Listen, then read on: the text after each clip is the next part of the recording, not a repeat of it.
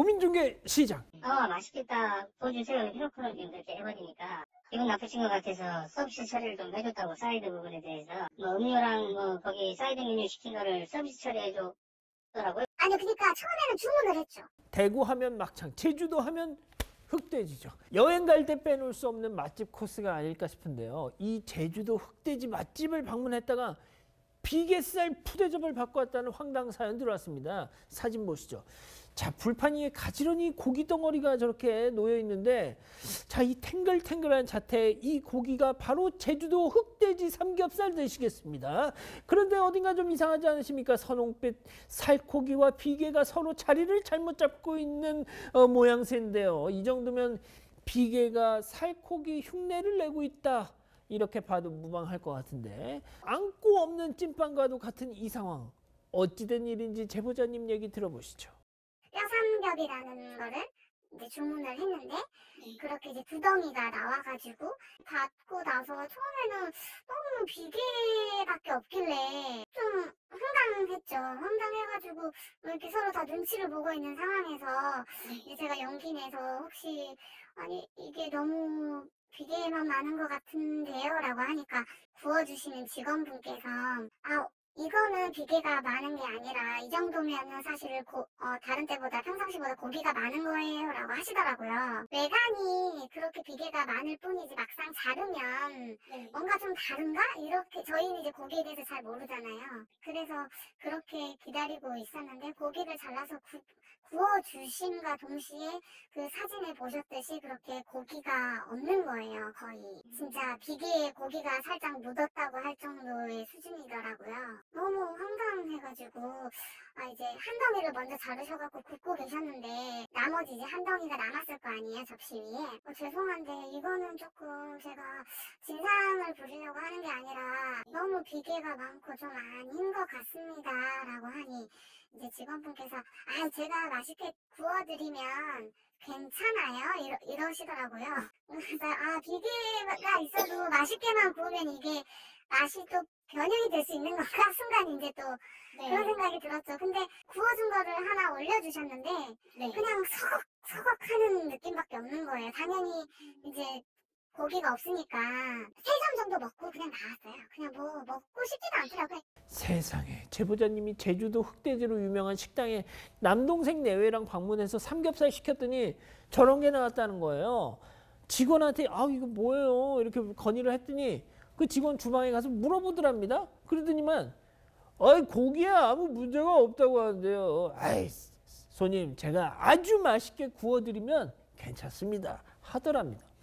그렇게 고기 한 점을 구워줘서 먹어보셨대.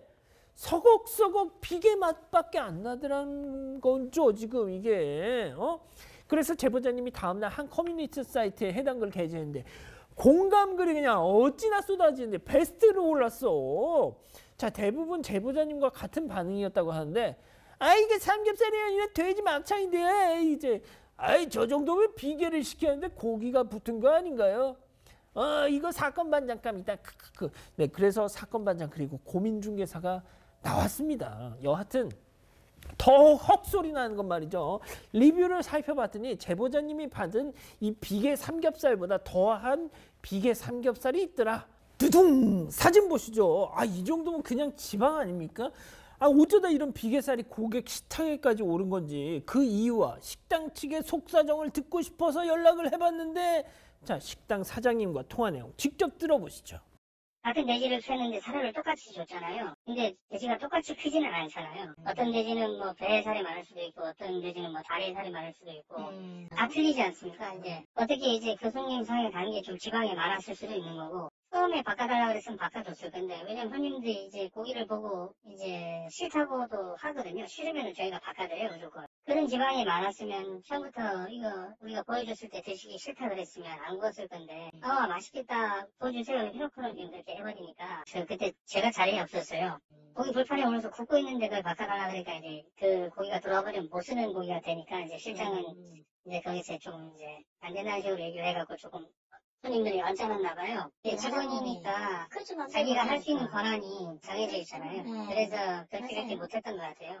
있었으면은 하셨어요. 그죠? 뭐 애초에 아니면은 뭐 그걸 빼줘버렸던가 하나였겠죠. 아, 기분 나쁘신 것 같아서 서비스 처리를 좀 해줬다고 사이드 부분에 대해서 뭐 음료랑 뭐 거기 사이드 메뉴 시킨 거를 서비스 처리해줬더라고요. 근데도 이제 좀 안- 언짢아하고 가셨다고만 얘기를 들었거든요. 이런 거 한번 나가면은 솔직히 너무 타격이 커서 이거 뭐 직원들도 있는데 저도 이런 경험이 처음이라 좀 당황스럽고 뭐 어떻게 해야 되는지도 잘- 잘 모르겠습니다 진짜. 아 그러니까 어떤 돼지는 배에 살이 찔 수도 있고 어떤 돼지는 다리에 살이 더 찔 수도 있다. 어, 사장님이 있었으면 내가 이게 바꿔줬을 것이다. 그런데 아직 직원이 어, 익숙치가 않아서 뭐 그런 거, 뭐 이런 느낌인데요. 자, 그리고 제보자님이 시킨 사이다, 어, 그리고 사이드 메뉴를 서비스 처리- 처리해 줬더라. 어, 본인도 당황스럽다. 뭐 이런 입장이에요. 자, 그런데요, 제보자님은 아니 그러니까 처음에는 주문을 했죠. 영수증은 기분이 나쁠까 거기서 일일이 확인을 하진 않을 거 아니에요. 저희는 서비스를 달라고 한 적도 없고 돈을 낼 생각으로 주문을 했는데 자기들이 그냥 준 거죠. 저희한테 말을 한 게 아니라. 사이다랑 사이드 메뉴 서비스 준 걸 얘기를 안 해줘서 몰랐다는 거예요. 그러니까 자기들 마음대로 서비스 몰래 이렇게 샥샥샥샥 이렇게 처리를 해놨더라. 아 지금 이게 완전히 팽팽히 갈리고 있습니다. 뭐 어찌 됐든 중요한 건 어? 사이드 메뉴가 아니야. 비계살이 고객 식탁 위에 올라왔다는 겁니다. 어? 아니 우리가 솔직히 살 먹으러 어, 어 고깃집까지 비계 먹으러 가겠어요? 가족 여러분들 생각은 어떠신가요? 자유로운 의견 부탁드립니다. 집단 지성의 힘 댓글 고고!